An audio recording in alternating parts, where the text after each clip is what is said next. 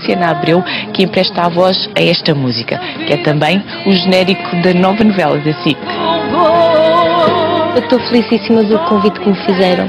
Nem pensei duas vezes, como é óbvio.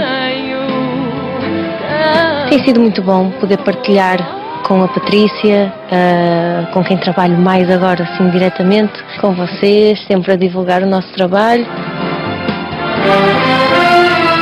Estou muito entusiasmada, não só com o meu papel, mas também pelo facto de dar voz ao genérico da novela, que é importantíssimo.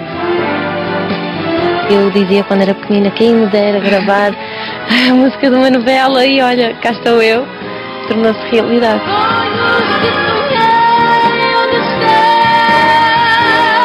Estiveste mesmo a cantar ali com a orquestra, isso deixa-te um bocadinho mais nervosa. Até porque se eu errar, está em jogo o trabalho 12, 15, 20 pessoas, não é?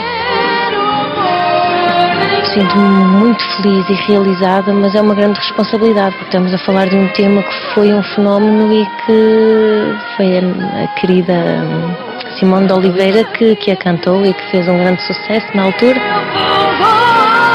Fiquei um bocado amedrontada, mas agora pronto, já comecei a cantar, já fiz vários takes, há uns que servem, outros que vão para o lixo, portanto vai-se vai fazer ali um mix com certeza do melhor e acho que ela não vai ficar triste.